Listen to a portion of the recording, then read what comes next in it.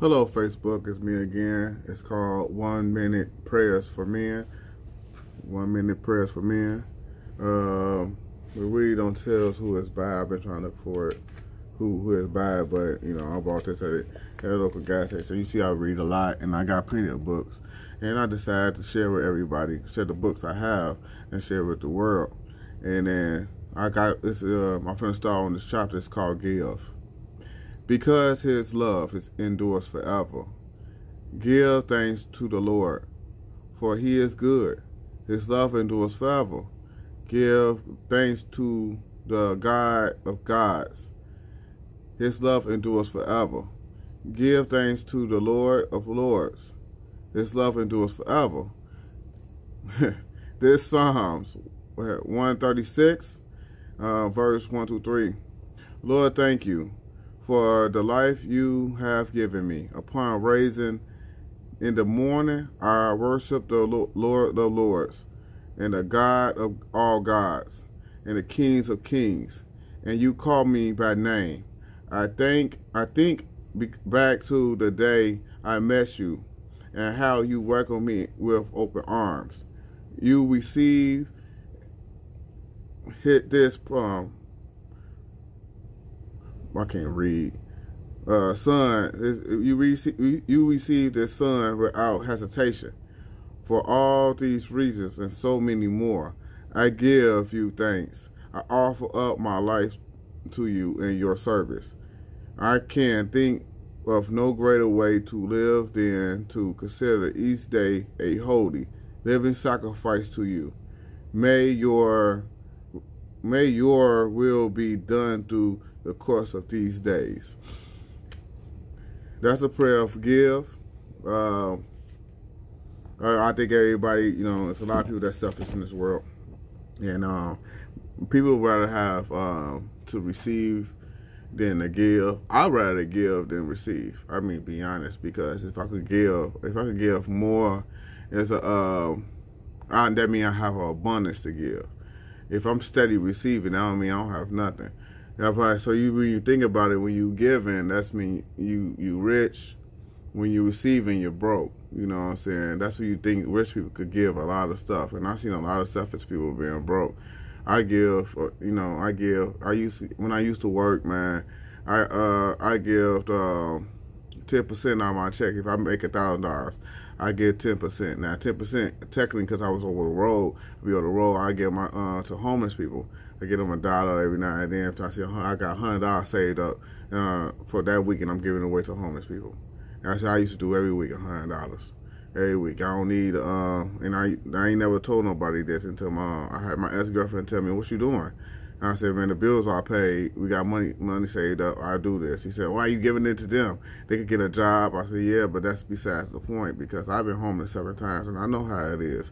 And then they said if they if they bad on cigarettes and alcohol, that's them. You know what I'm saying?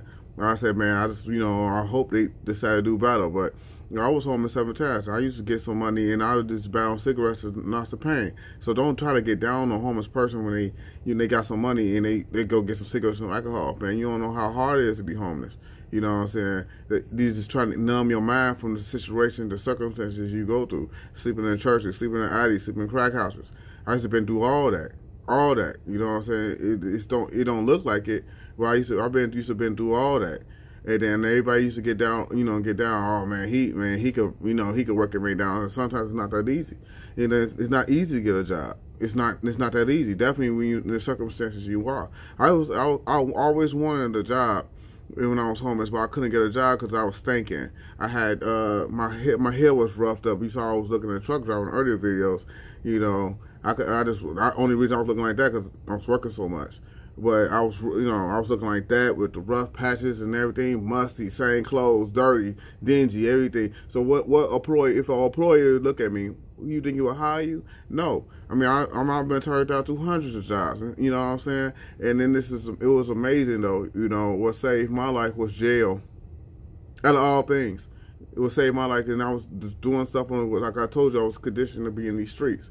I was conditioned. I was not a, a game banker, but I was conditioned to be in the streets to just do what you have to do to survive. And then it's like, um, so it was yeah. It's like you. I was conditioned to do what I had to do to survive. And then jail saved me. Jail said jail was like the final stop. Like, man, I don't want to be in this place, man. You know, it's bad enough to be on the streets. It's worse than being here. These people crazy. You know what I'm saying? Everybody innocent, but they crazy shit. So it's like, you know, just like I changed my life into a homeless shelter and got my CDLs.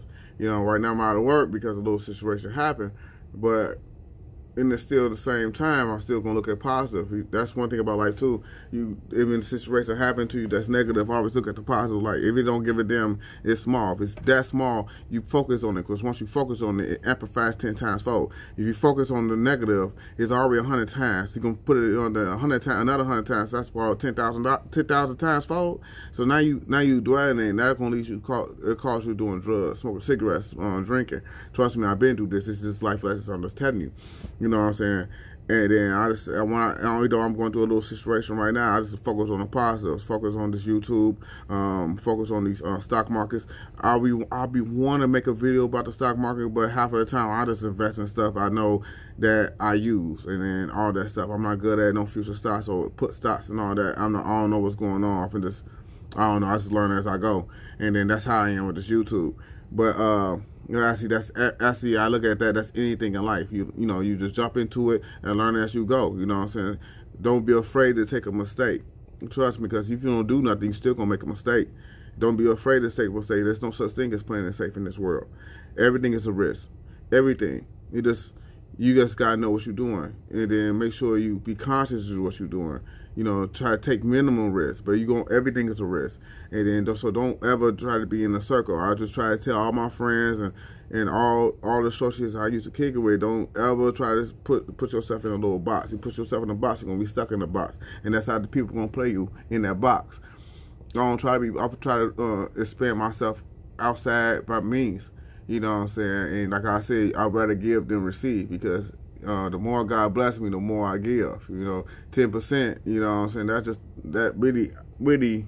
That's in the Bible. I forgot what verse, but that's in the Bible. I giving ten percent. But the the um the churches take it and they take it to a whole nother level and stuff like you gotta give us ten percent. No, I don't have to give you ten percent. I get the Lord ten percent. I don't have to get that's what the, the, the I be hate when churches say that. If I hate when they talk about tithes. Yeah, you got to give ten percent. That's true. You do got to give ten percent because God bless you with hundred percent. You got to get ten percent. That's really ain't much. But but the churches be trying to spit it like, oh, you could you got to give me ten percent. If I take my money and I give it to the homeless, you know what I'm saying? Because I, you know, I'm I'm I'm, I'm appreciate you preaching, and don't get me wrong, I I, I do give to um give to the churches. I'm not saying it's nothing bad giving to the churches, but this I just don't try to force me to give you money. You know what I'm saying? Um, that's crazy. I mean, I don't believe that. I don't force no religion on nobody. I got my. One of my best friends is Muslim.